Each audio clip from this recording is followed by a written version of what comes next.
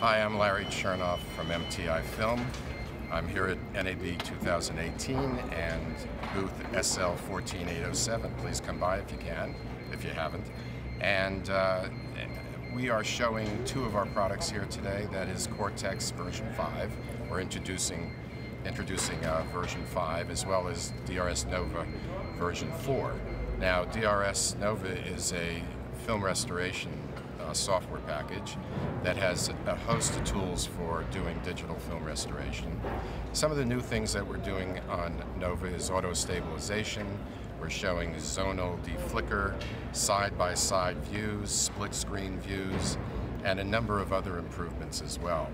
For more information about that, you can go to our website, which is mtifilm.com. On Cortex version 5, we're showing uh, a very comprehensive dailies tool. That's how Cortex really started. But it's grown to be much more than that. It does dead pixel detection and correction, for which we've introduced a new uh, uh, algorithm for the correction.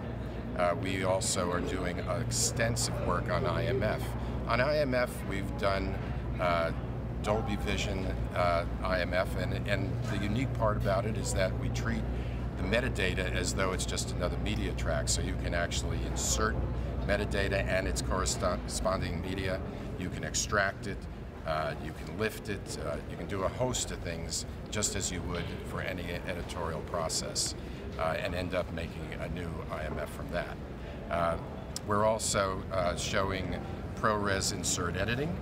Uh, and we're showing uh, new scopes such as a color gamut diagram and a NITS uh, scope as, as well as uh, code values and integrated into a new QA tool that you can uh, generate graphs and reports from. Those are just a few of the things that we're doing with version 5. Uh, little tweaks to the user interface, uh, which are very popular with our, our users. Uh, we, they consider our interface one of the best in the biz. And uh, since last NAB, we've picked up about 10 different users uh, for IMF specifically. So we encourage you to take a look at that if you're interested.